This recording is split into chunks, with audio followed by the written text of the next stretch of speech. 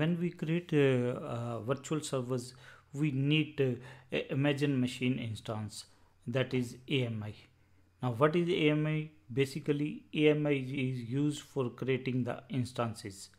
Uh, it could be one instance it could be multiple instances. That mean uh, like uh, when we use virtualization solutions or hypervisors we generally install windows or linux servers or operating system with the help of iso file. That mean uh, the operating systems are generally distributed in the form of iso so when we have to create the virtual machines uh, by using virtualization or uh, hypervisor we have to use the iso but in the cloud uh, and especially when we are using the aws cloud when we are going to create the server for creating the server what we need we need ami imagine machine instance uh, and it can be used for creating one or multiple instances. Uh, now when uh, we have to uh, uh, create the virtual server so what we will do? We will go into the first ec2 menu. In from ec2 menu what we are going to do? We are going to select ec2 dashboard. Now please remember there are many ways uh, for creating the instance but in our case uh, we will be using the console method. You can create the instances by using CLI mode also. But uh, um, uh, in this course we will be mainly focusing on the AWS console so we will go into the dashboard and then we will click on the launch instance. Now whenever you have to create the launch uh, uh we have to launch the instances various steps are involved so mainly seven steps are involved. We will be looking at each and every step uh, uh, in greater detail. So first uh, of all we have to choose the ami that means which operating system we want to um, install or uh, from which ami we want to launch the instance. Then uh, we have to choose the instance type. That means how much resources we want to give that means how many processor how many ram we want to give uh, that we are going to choose for an instance type. Then we have to configure the instance like uh, how many instances uh, we want in which zone we want lot of details uh, we can configure um, uh, for the instance. Then we have to add the storage also how much storage we want. Then we for identifying the virtual servers we need to add the tag.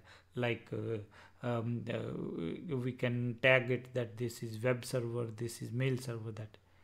Then we have to configure the security group. Security group mean firewalls. That mean uh, who can access those instances what port should be open that will be uh, configured using security group.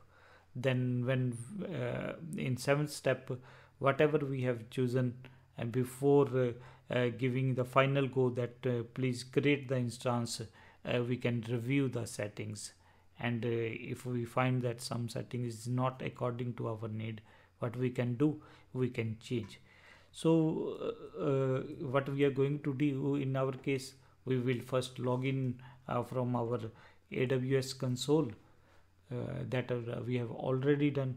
So from services we can select different services which are available like ec2 is available s3 is available um, efs is available then in database um, this sql databases is available NoSQL database is available and uh, IoT is available machine learning is available. Lot of uh, services are there.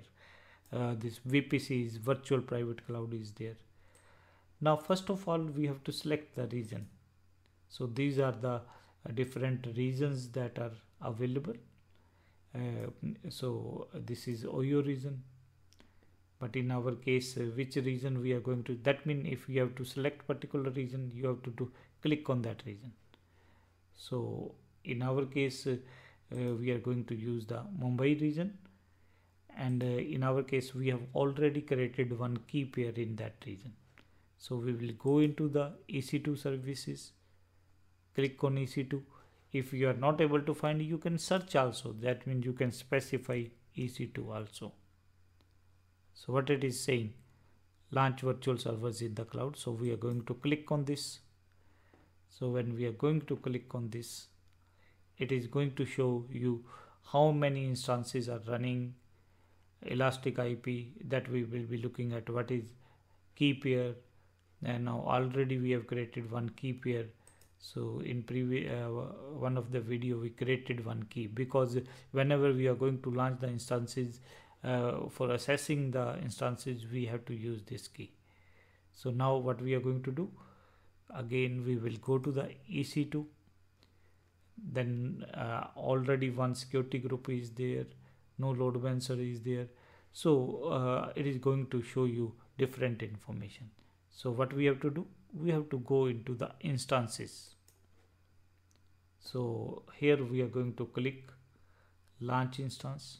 So when we are going to click on the launch instance it will show you the different uh, option.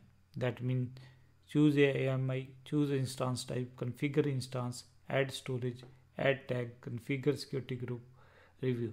So we will be looking at uh, first of all these things uh, separately. What is the meaning of uh, default settings? Uh, these uh, different option. Then we will uh, start creating. First we will be creating one Linux server. Then we will be creating one Windows servers. But before that, we have to discuss how many type of AMIs are available and uh, uh, what are the choices when we are doing instance type? That means first let us go into uh, greater detail. Then we will uh, create the uh, this uh, virtual servers.